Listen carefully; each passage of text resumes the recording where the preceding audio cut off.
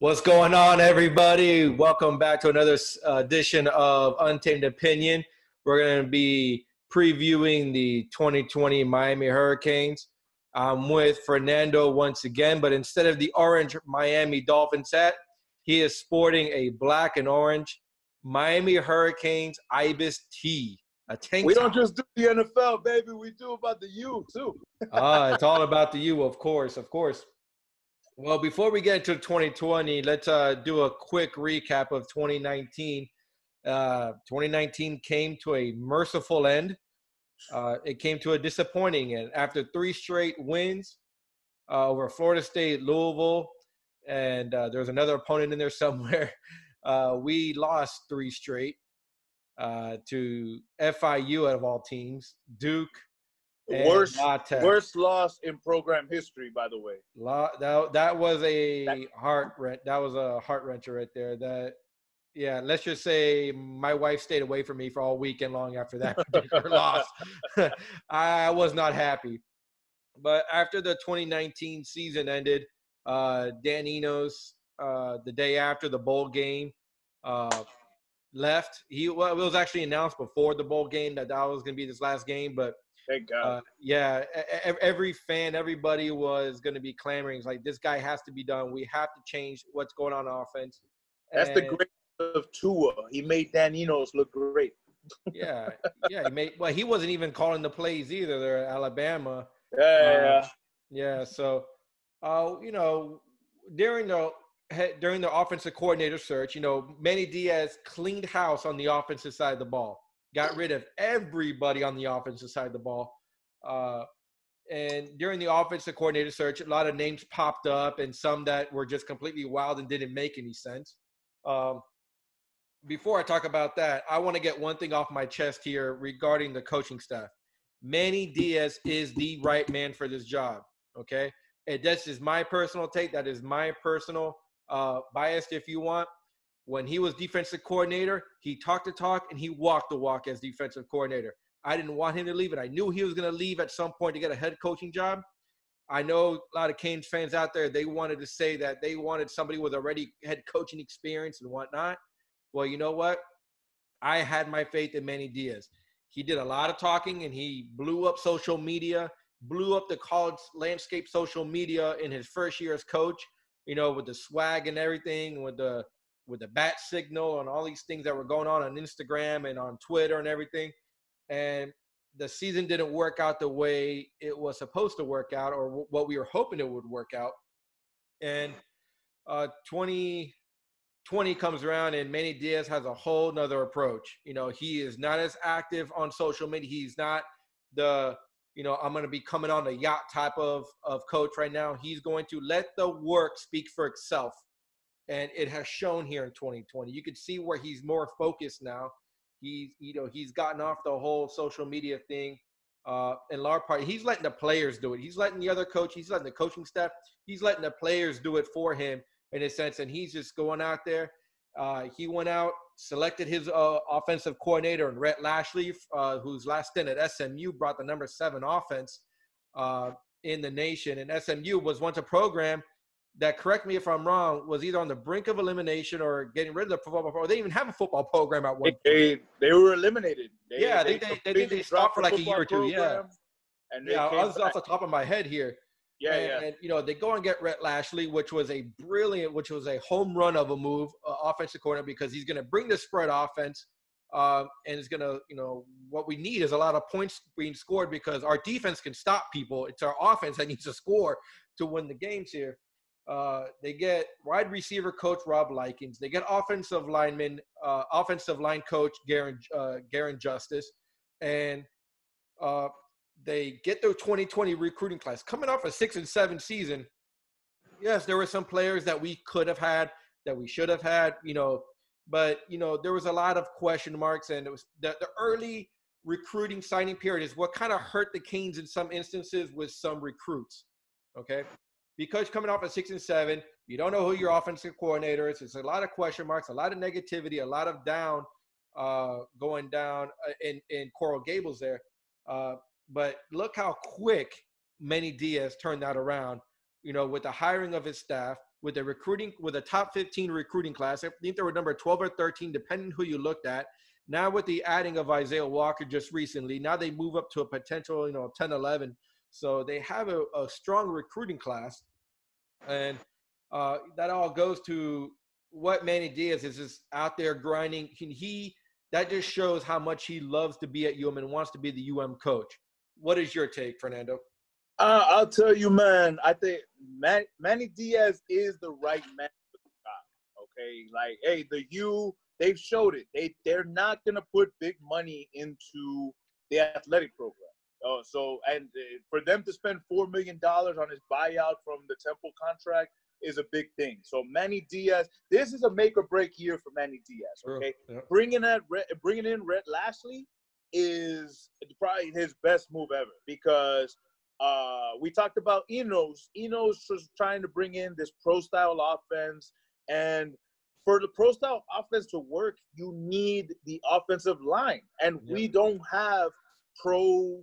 We don't have pro ready offensive line. It's just sad to say. We had uh, Zion in the left tackle. The guy, the guy was weighing 220 pounds when he got into the U, and he he was just too young they're too light. They're not strong enough. They're not. It, it's it's just it. The pro style offense is not going to work right now with the way the University of Miami is recruiting or being able to recruit or had been able to recruit in the past because it looks like it's changing a little bit now. Now with Rhett Lashlee coming in and bringing in the spread offense, it's a little bit more simpler. The mm-hmm. receivers it, hey, it's one word. Hey, we have a, a, a slant here and out here, a post there. It's simple stuff. Hey, get up to the line, run it. Tempo. And the biggest, the biggest thing that came with Rhett Lashlee is D'Eriq King. D'Eriq Carey comes in here. He took a red shirt year last year, saying he's gonna rest and sign up to the right program. Boom. Hey, he comes to the University of Miami. This brings it's it's the Manny Diaz effect. It's the Manny Diaz being able to still recruit, bringing, being able to make the U relevant even after a six or seven season and a disappointing uh, bowl loss. I mean, we had all the momentum was going down. The loss against FIU, which is the worst loss in, in the program's history, that could have sunk us. We could have been completely out of it. But now you know, and coming off a bowl loss, a bowl, the momentum going into the offseason is a bowl loss. And we're still able to get D'Eriq King, who is a top, what, three candidate for the Heisman next year, be, just because of Rhett Lashlee yeah. and. System. Mm-hmm. You know, now we can have the offensive line that we have now.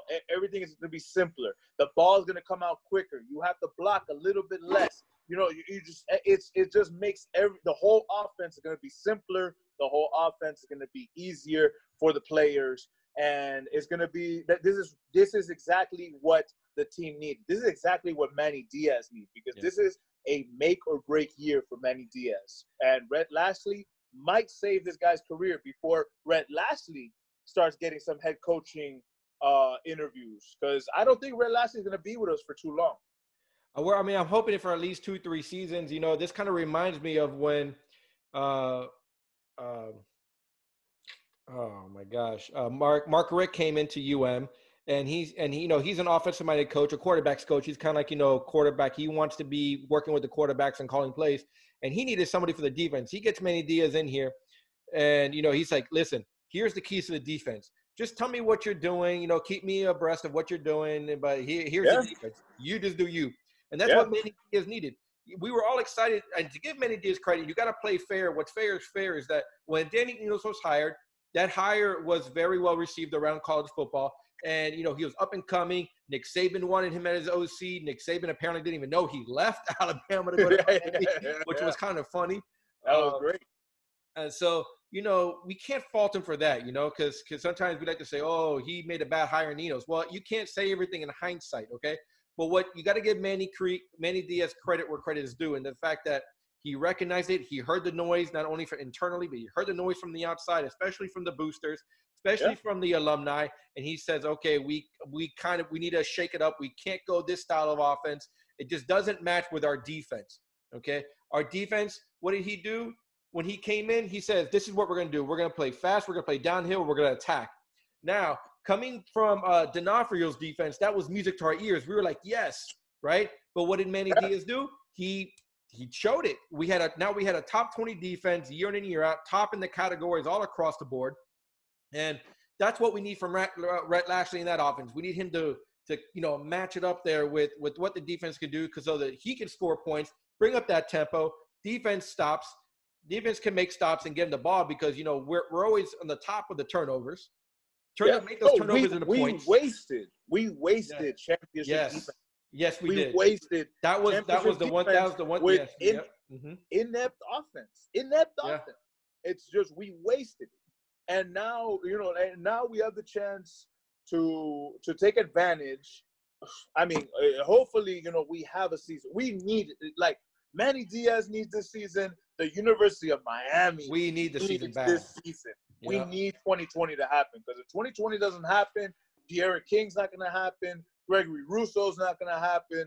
You know, us getting to the ACC championship is not going to happen, man. We had the recruiting, the, the the heat is on right now. Yeah. Like we're we have to take with the whole Corona thing going on with recruiting. Like the kids aren't able to go visit outside, so we're able. This is almost like the 90s right now for recruiting when it comes to the University of Miami because the kids in Miami, in Broward, in West Palm are not able to go to Auburn, to Alabama, to USC, to these big schools because of the restrictions that are on because of Corona. So who's able to see them? The University of Miami was able to see them during Junior Day. You know, we just lost that big recruit from from Booker T. I know the wide he's a top wide receiver. He committed to Alabama last week. But I mean, hey, Alabama, you know, like they're they're gonna they're gonna do their thing. They're always gonna get a top player from from Miami, from South Florida. So Nick Saban has he he has the goods, he has the need the the means to be able to get a top player. Jerry Jeudy's from down here, Calvin Ridley's from down here, mm-hmm. Amari Cooper's from down here. Yep. They're always gonna get a player from down here to go to Alabama. There's nothing we can do about that. But the, the U has to do the best players from South Florida need to come to the University of Miami. They have to stay at the crib. Uh, They have to build this program. That's the only way. And coming off a terrible season, this is the time to do it. This is the Yeah. time to do it. And, he, and here's where I want to disagree with you just a little bit, where Alabama is just going to, you know, you can't really do much about that with Alabama. Here's where I'm going to counter with that. If Miami, as long as college football is played, and Miami has a season that we believe they can have, I believe they're a 10 11 win game, se- uh, 10 to 1, uh, 10 to 11 win uh, team here. I believe they're very capable of doing that. Those players may change their mind. Remember, this is only a, a verbal commit. Players change their minds all the time that player may say, you know what? I love what I see out of Miami. I want to stay home. I want to make the crib great. I want to play in that offense. Why go all the way to Alabama? And they, But- that, a lot of that, a lot of that could happen. But this is why we need this 2020 season. Absolutely. Corona, hey, the 2020 season is vital. We need the 2020 season because we have the potential. We have the potential to to go to the ACC championship. Yeah. Hey, if Manny Diaz wants to keep this job, 2020, we have to win the Coastal and we have to compete with Clemson. Like that's the minimum. We have to do it. Like that, and we we need that. We need the 2020 season for that. We have the talent right now. We have the players in place to to compete and to win the Coastal and not disappoint. And we have now the coaching staff. We have Lashlee's offense. We have the quarterback who's catered to this offense Yeah. to to to to win now. We and that's what we need right now. That's what we need. Yeah. So some of those uh, transfer portal additions that that uh, Fernando and I have been talking about, D'Eriq King being one of them, the transfer quarterback, the redshirt senior out of Houston, uh, that ran the spread, a version of the spread over in Houston. Um, he comes over. Uh, Quincy Roche, that was a defensive end from from Temple. What a Yes. huge get up! You go from Jonathan Garvin, having potentially Jonathan Garvin and Gregory Rousseau to having Gregory Rousseau and Quincy Roche. You know, easily the top, you know, top two set getters. You know, outside of Chase Young last year, and, And and not just that, don't forget we got Jaelan Phillips, yeah, who was the number one recruit five of the 2017 class for UCLA. He had quit football. And hey, this is another big thing when it comes to the coaching staff. David Feeley. Remember this name. That's the strength and conditioning coach. This guy is making monsters in that weight room. Jaelan Phillips looks like someone I created on Madden. Yo, Jaelan Phillips is the prototypical defensive end. We just have to get him back on the field. And he was the number one recruit for a reason. He went to UCLA, didn't work out. The guy like gave up football and he's back. He came in here weighing like 220. Now he's up to like 260. He looks like an animal. Like I'm telling you, we're like what used to be a weakness is now a strength. Dog. We're talking about Rousseau, We're talking about Roche, and we got Jaelan Phillips at defensive ends. A rotation there that cannot yeah. be stopped. And the the way that they're gonna get sacks is by the offense scoring points. If we're up, they gotta fucking throw the ball. They gotta throw the ball, and they gotta go after the quarterback. Yeah, no, that's a great point there. Uh, especially with Jafari Harvey, the the freshman from last year. We've heard a lot of good buzz about him as well. The the the, the defensive line coach, uh, Swally, was talking about him hit, that his twitch is the best he's seen. Yeah. He can't get him off the two deep. We're talking about three elite players in Jaelan Phillips, Rousseau. Rousseau's going to be a top 15 pick in the draft next year. most of them are, most of them are taking a top five. Yo, eh, yeah. Every saying, mock I've seen is top five. Yeah, he's gonna be he's gonna be up there. He was second in sacks behind Chase Young. Chase Young went second in the draft. He is he's an animal. You don't you can't teach size. The guy's six seven and yeah. he has this oh. And he didn't even start for what the first few like the first. He didn't start the first six games. Yeah, he didn't what, start. What he played, but he didn't what, start. Have, oh my God, Patchin's out there like, yo, come on. like, don't get me started. Rousseau should have been there from the start, but okay.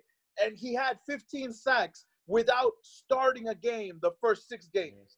But Rousseau, Jaelan Phillips, Roche are your top three guys. Yeah. And this guy's talking about Harvey. He can't keep Harvey off the two deep because of his twitch. We have so much talent.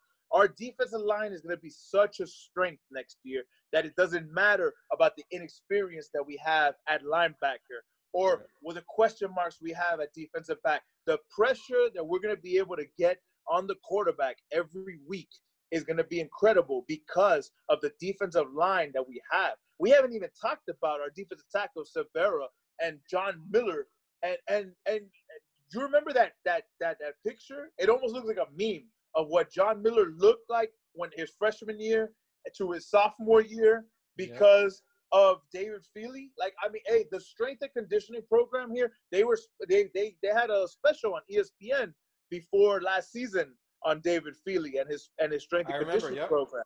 It's it's incredible. Like this is what we need. We need this type. We need to to make these kids into men and it's done with the weight room it's done with the strength and conditioning program.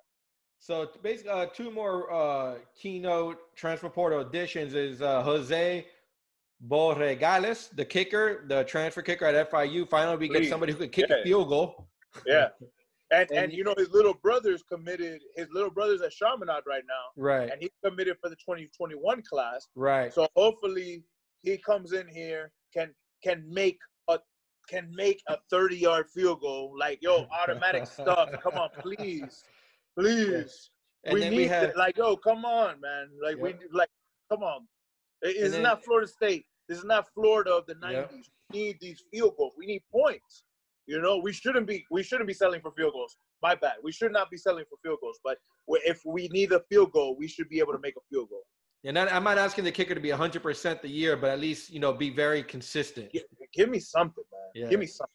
You know, and then, you know, just the latest addition, which was a surprise to everyone because he went on the transfer portal, shocked everybody, and made a decision really quick. And Isaiah Walker Jr. And uh, he he announced his transfer to Miami. He is, uh, as far as I know, he's officially a Cane. I don't know if the, all the papers and everything has been signed yet. So I'm not going to, but everything points that on his Twitter, on his social media, he's a king. He's coming back to the crib, and he was he was an offensive four star out of Norland Senior High, and uh, we haven't had a an offensive tackle that true offensive tackle since Ereck Flowers. So You know. So, so Ereck Flowers, you know, he went to Krop. He went. To, he graduated from Norland, won a state championship at Norland, and you know, and that's where, um, that's where our our, our boy is from over here, Isaiah Walker.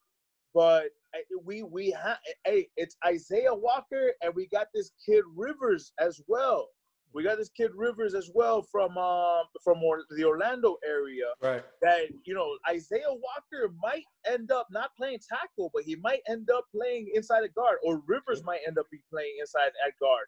And we have we uh, like the offensive line is such is such a great like I love what's going on right now with the offensive line. This guy, Coach Justice, is doing an incredible job recruiting these kids. I don't know if you've seen the 2021 class, but we got this center from from the Columbus High School, Rodriguez, who's there. Yeah, Ryan we Rodriguez, I think his name from, is. Yeah. We got the kid from Central. We gotta keep keep him committed. I Yeah. know that LSU. I know that Auburn. I know these guys are gonna get on them.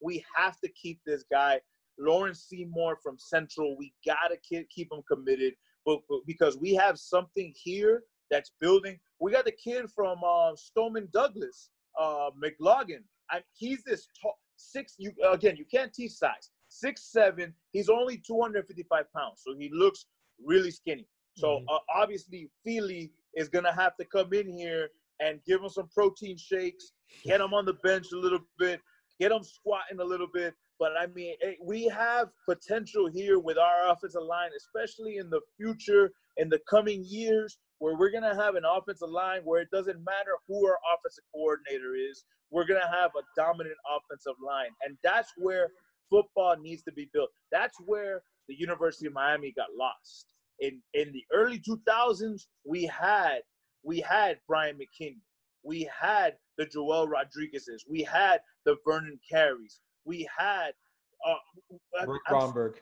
yeah, we had Brett Romberg, man. We had uh, it was built from the inside out, and and that's defensively as well. Vince Wilfork, uh, Jerome McDougle, Baraka Atkins. It's built from the inside out, and that's a big thing that's missing here with the this new University of Miami is the offensive line, and they need to be built from the inside out. And now with these young cats that are coming in, and I don't want them to start early. Isaiah Walker, hey, take your red shirt, get bigger. You're, you're hey, you're like Yeah. 290 right now. I Yeah. want you to come in at 320 next year. You know, athletic. Don't lose your athleticism. Let Feeley get you big. Keep doing your ladder drills. You know, because this is what we need. We need our offensive linemen, our defensive linemen to get bigger, get stronger, and stay for four years, at least four years. Stay to your junior year. Don't leave early. Don't do the Ken Norton, the uh, McIntosh when they had that. Their, their, the, the 2016 2017 year when they had an amazing year and they all they left to the draft and went in the fifth or sixth round why would you leave early don't leave early like yo get built Yeah. become a second a third or, or even maybe even a first rounder. Like get built here man. This is this is what the university of miami needs. The university of miami needs guys that are going to stay a little bit longer build the program and we can't have boys out there no more. So vero was playing out there as a boy man. Like yo you need to come you need to become a man out there bro you need you need they, they coming in here with the right mentality but not the right body and they need to get built and play Especially on the line. oh, Yeah. on the line, man. We can't like uh, Zion. Zion had no reason to start last year. Like, I mean, the only because we needed him to start, I guess, you know. But I mean, it's it's it's incredible. It's incredible. Like like this is what needs to happen here with with our uh with, with, with the program. The program needs to be built with experience, experienced players. So as we're talking about the the players and we're talking about certain groups, who which group, which positional group in your mind do you think really has to step it up, really has to improve dramatically for this team to be successful this year? It's so many. It's so many. But it, it, off the top of my head, the wide receiver group needs to step up big time next year. I mean, KJ Osborn was godsend last year. KJ Osborn, he, he came in for that one year from Buffalo. and he was amazing. He was able to do it on punt return. He was able to do it in the slot, outside, everywhere. Mm-hmm. Where do we get that production from now? Dee Wiggins needs to step up. Michael Redding needs to step up. I was telling you this the other day. Jeremiah Payton. Jeremiah mm-hmm. Payton is my breakout guy. I think Jeremiah Payton is gonna be the guy who steps up and becomes that number one if we have football in the fall. I'm telling you, Jeremiah Payton is that guy. I don't know everybody, all the insiders that I know of, we're all talking Jeremiah Payton was balling in practice last year. Why did he redshirt the whole year? We don't know. It, it, it's in the past now. He is gonna he's gonna come in. I think Jeremiah Payton is gonna come out being the number one receiver for us. We have Mike Harley, who has the experience, so hopefully he can lead these guys from the slot position. And I, the wide receiver group is a huge question mark, but I think Jeremiah Payton steps up big time for them. Hopefully, Dee Wiggins. We have the redshirt freshman uh, Michael Redding. We have Mark Pope from last season. He had a couple of good games. Uh, oh, another kid, another kid, uh, uh, freshman, true freshman, mm-hmm. Xavier Restrepo. Uh, I think he's yeah. yeah. I think he's gonna be. I think he might he might he might push for some playing time next year too. Uh, Xavier, I mean, he he definitely has that slot look. I think he should take a red shirt. He needs to put on a, maybe a little bit of size, learn the offense. He, you know, he's going to be, you know, behind a lot of these receivers this year. You could definitely use a redshirt year. Um, you you read my mind about which position group, the wide receiver group. Obviously, the offensive line is the the biggest elephant in the room that needs to really dramatically improve. But we think they really address those uh, needs not only in the transfer portal but in uh, in the recruiting class. Also, the offensive line is is they're returning everybody. I don't think anybody left as a senior last year, so they're really returning everybody. Those true freshmen that got all that playing time last year, they're coming back with more experience. They're going to get bigger. They're going to get stronger. Uh, unfortunately, you know, we don't have the off season. You know, we only had four spring practices, and you know, there's only so much Dan Feeley can do. I know everybody's itching to get the, the players back on campus into the weight room and whatnot. Every school across the country is, is wanting that. But um, let me just mention with the offensive line. I wanted to mention the offensive line 1st mm-hmm. but the thing is now with uh with Rhett Lashlee's offense, I'm not too worried about it anymore. D'Eriq King is like D'Eriq King is legit. Like, yeah. yo, if we only had, like you mentioned, we only had four practices in the spring. We were able to even get those practices because most people start their spring in in uh, in the middle of March, late March, and stuff like that. The, the the Canes were able to get at least four practices in before this whole Corona thing hit, and D'Eriq King showed out. They got into pads on that Saturday, and they were like, "Yo, this is why this guy is recruit is in the top three for the Heisman next year. And, mm-hmm. and, you know, we're talking about with Trevor Lawrence, we're talking about with Justin Fields. D'Eriq King is the typical college football quarterback, spread offense quarterback. And the re- and, and that's why I'm not too worried about the offensive line because we only need three seconds. You only need three seconds. Hey, quick offense, bomb. Hey, screen here, mm-hmm. slant here, a deep shot here. Like this is why I'm not too worried about the offensive line. We have now the experience. Zion Nelson had a year to like to to block for five, six, seven seconds uh, at the left tackle spot where he shouldn't have been from the get go. We have Donaldson. Even Donaldson's always out of shape, man. If he can just come in in shape one year, he'll be okay. Uh, Gaynor, Gaynor is the anchor. Gaynor at center is the anchor he's going to set the off the, the tone for the offensive line. He's a great leader. I think he's going to be great there at center. Uh, uh, Clark and Scaife. I love Clark and Scaife. Jalen Rivers can come in here and compete for a starting spot. I think they should they should redshirt him. I think he should sit and keep keep gaining size. Him and Isaiah Walker are the future with the incoming freshmen that we mentioned before. I think we have offensive line wise, and I love offensive line. That's what I played in off in, in high school. So I love watching the growth. I love watching the scheme. I love watching these guys play. So I, I love the inside out of football. I I think offensive line wise, I'm not too worried about it, especially in this new system, this new spread offense that they have uh, brewing at the U. Well, you know, the wide receiver group is like like I mentioned, the same thing that was on the top of my list for the group that needs to really improve and really show to take that next step to you know keep things going here. You know, very fortunate that Miami does have like a go-to receiver in that tight end, Brevin Jordan and Will Mallory, and that's going to be very key because Lashlee loves a tight end. So, you know, ha- having Brevin Jordan, having Cameron Harris back there, you know, ha- having these players will, could really help. If the receivers can just catch the ball, we'll be fine. Brevin Jordan is like another receiver. Thinking about it, yep. honestly, like it, hey, he lines up in the slot a lot. That Virginia Tech game, he should. I mean, we should have won that game. But Brevin Jordan is our number one receiver.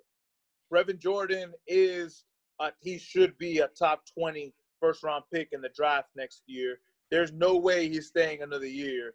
Brevin Jordan is that guy. Brevin Jordan. This is going to be 2005. 2000. This is going to be the 2004 season that Kellen Winslow had, where they're just gonna for, they're just gonna be keep force feeding the ball to Brevin Jordan. Brevin Jordan is elite. There's our receivers, and there's Brevin Jordan. Brevin Jordan is a talent that we haven't seen here since probably Kellen Winslow, maybe Greg Olsen, and like Brevin Jordan is gonna be is is elite. Gonna be a first round pick. Yeah, absolutely, absolutely. There's no there's no doubt about it. So which player, which player this year in 2020, which particular player are you really looking forward to watching this year? Oh, uh, absolutely is Rousseau. Oh, Rousseau. I'm so excited about Rousseau. What, what we got going on back there? Oh, I got my son coming in. can, can, can you say talk about the you? You. You. Good job, buddy. You should be asleep by now. it's pretty late. Hold on. So, our breakout player is like the obvious reason. The obvious player is Greg Rousseau. Greg Rousseau came on strong last year, out of nowhere, six foot seven, getting sacks all over the place. Second, like I said earlier, second to Chase Young. Greg Rousseau is the obvious choice. But my breakout player, my player that I want to go see, uh, go out there. I, I want to see this guy play is Jeremiah Payton. I may, I mentioned him earlier. He's the receiver that I think is going to break out, be our number one receiver next year. I want to see him play. One of the players I, I I'm looking forward most forward to to seeing this year is actually on the defensive side of the ball. Uh, Sam Brooks. I, I I'm really I, am really intrigued because he had he had a tremendous bowl game. I mean, he was all over the field in that bowl game against La Tech, and you know, seeing finally, okay, we got McCloud. He came back for his, he, he, you know, he did the the right thing, and he came back for a red. He took a red shirt last year, came back for a red shirt senior year, and you know, we got Sam Brooks there. So who's going to pay the striker position? No, that's up in the air right now. Who, and I'm not even going to start to venture to guess who should be that. But uh, at least you, if you can get McCloud there with Sam Brooks adding another size, adding another year there, so that should help solidify that behind you know behind that defensive line. So that's the player I'm looking forward to really watching and you know seeing it. Can he keep that momentum going from the from the bowl game? And that's he's gonna be. I think he's gonna be a lot of fun to watch. He's a he's a fast linebacker. What worries me about him is his size, man. He's small.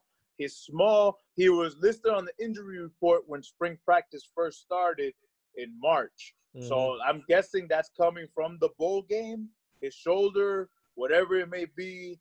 I, I, I, I you know, our linebackers, you know, like eh, I'm so happy that McCloud came, you know, was able to take that redshirt year.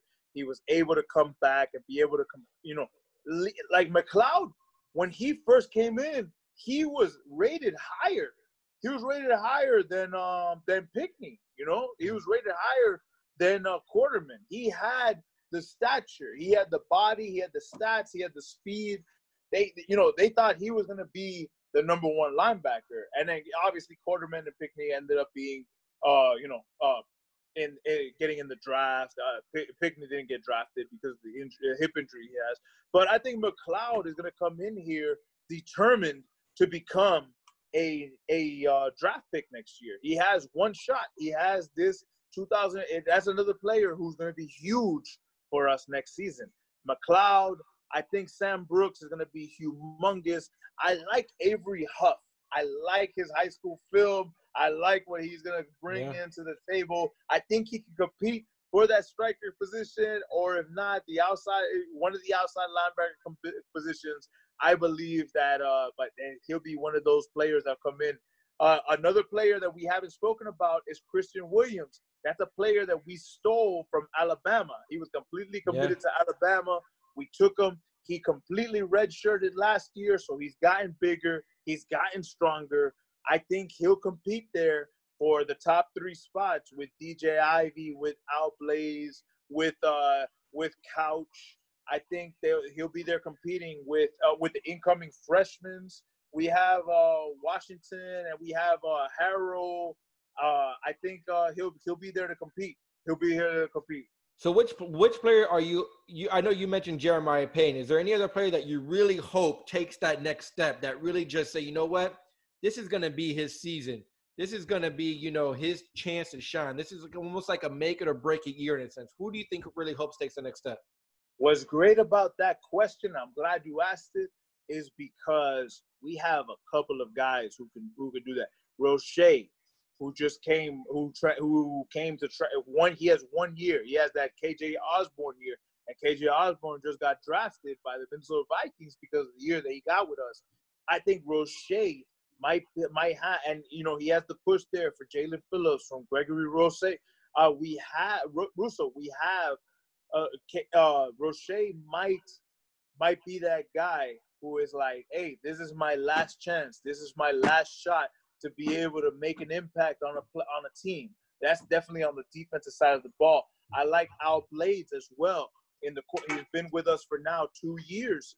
Uh, you know, he has the legacy of his last name with uh, his father, Al, the late Al Blades, uh, who who he can step up as well at the corner position, and Mike Harley. You can't forget Mike Harley. Mike Harley's been with us what now three years. He's the senior. He's the leader of that wide receiver of with that wide receiver room. Mike Harley is probably the in the the slot the the listed slot starter. Mm-hmm. Like Mark Mike Harley is another guy you can't forget there in the wide receiver room the, one of the players that w- when you really think about a player that really needs to step up and when when I was asking myself this question, the the only name that kept popping up in my head, but a player that I really really want and I really hope he takes that next step is Mark Pope. I really want to see Mark Pope. I'm rooting for the kid. He was really highly touted coming out of high school. He was a, you know, he, chose to come to the U, and you know, as a true freshman, we're all wondering where is he at? Come on, get on the field. And then last year, uh, you know, he had some, he had a few games here, and then he had some spots here and there. But is this going to be his year, his junior year? You know, is he finally going to turn things around? Is this particular offensive scheme finally going to fit what he does best? And I think yes. I really think yes. You know, can he vie for playing time behind Jeremiah or with Jeremiah Payne and with Dee Wiggins and Mike Harley? You know, can he get some fair share of the targets? We don't know. He, I think he has two years to prove that, and to prove that he can be a go-to uh, target uh, in this offense. That's a player that I really because he's got the speed. I, I, think he's got the talent. He just needs to put it together. And, and I'm really rooting for the kid because that was one that was you know that I really wanted to see. You know, kind of be that Ahmmon Richards, to kind of be that Jeff Thomas. Just you know, start off as your freshman, just keep going he didn't he didn't hit that traction yet, but that's something that we hope to get over the next next year or two.